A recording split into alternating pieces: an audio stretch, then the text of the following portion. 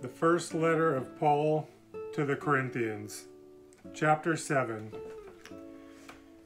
Now, concerning the things whereof you wrote unto me, it is good for a man not to touch a woman. Nevertheless, to avoid fornication, let every man have his own wife, and let every woman have her own husband.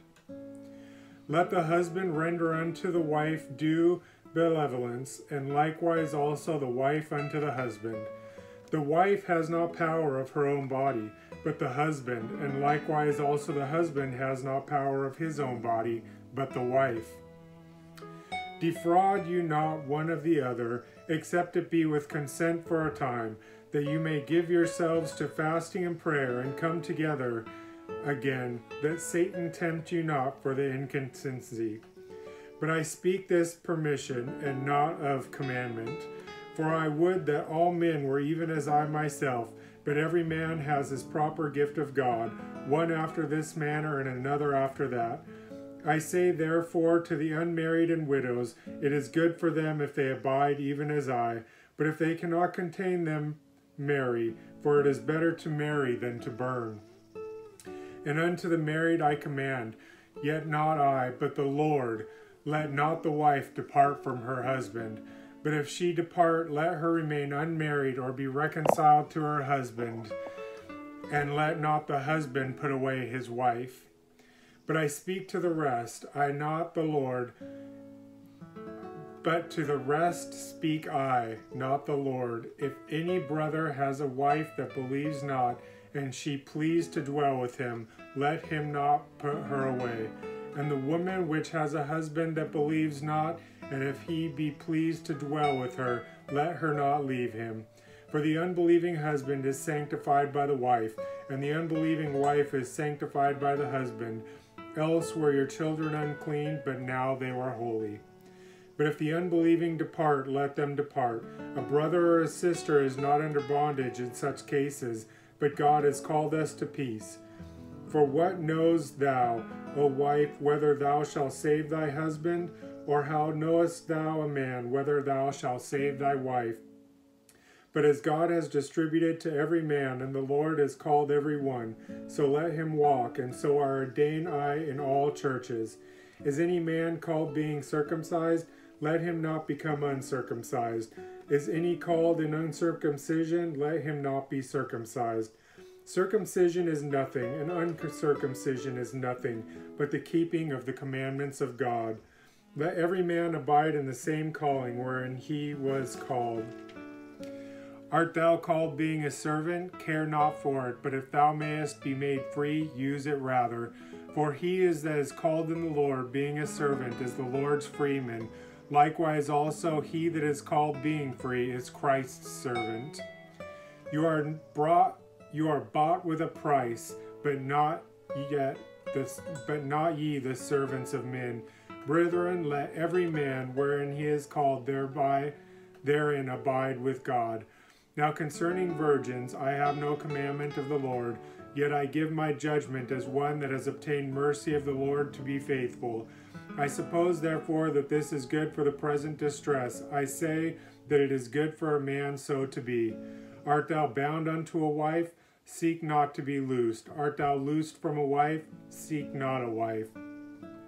But, and if thou marry, thou hast not sinned, and if a virgin marry, she has not sinned.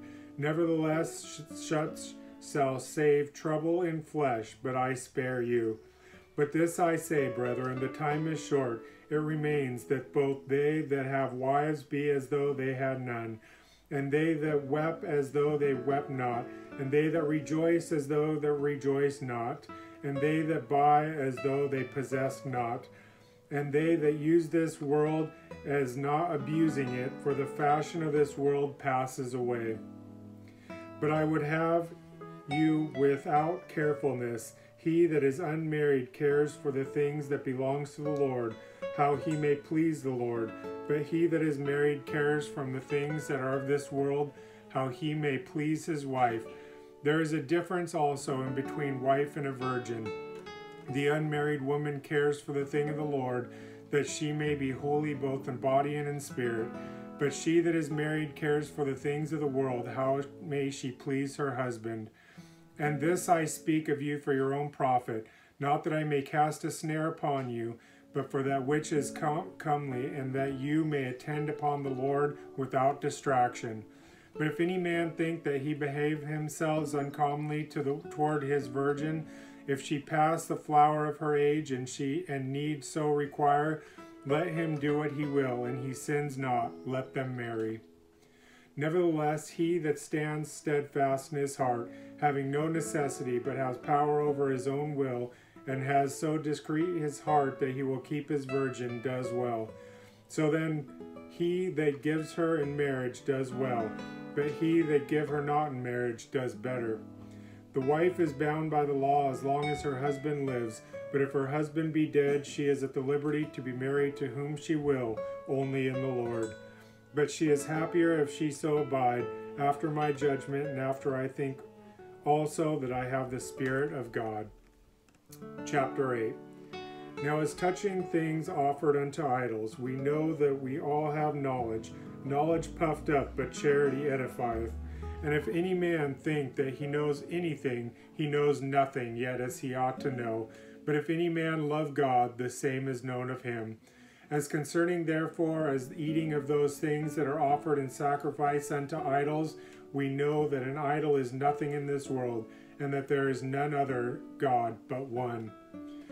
For though there be there called gods, whether in heaven or on earth, as there be gods many and lords many, but to us there is but one God, the Father, of whom all things are, and we in him, and one Lord Jesus Christ, by whom all things are, and we by him. Howbeit there is not in every man knowledge, for some with conscience of the idol unto the hour eat, as the thing offered unto the idol, as their conscience being weak is defiled. But meat commandeth us not to God, for neither if we eat are we the better, neither if we eat not are we the worse. But take heed lest by any means this liberty of yours become a stumble block to them that are weak. For if any man see thee which has knowledge sit and meat in the idol's temple, shall not the conscience of him which is weak be embalmed to eat those things which are offered to the idols? And through the knowledge shall the weak brother perish, for whom Christ died. But when you sin so against the brethren, and wound the weak conscience, you sin against Christ. Wherefore, if meat make any brother to offend, I will eat no flesh while the world standeth, lest I make my brother to offend. The good news of the Lord. Thank you, Jesus. In your loving name we pray. Amen.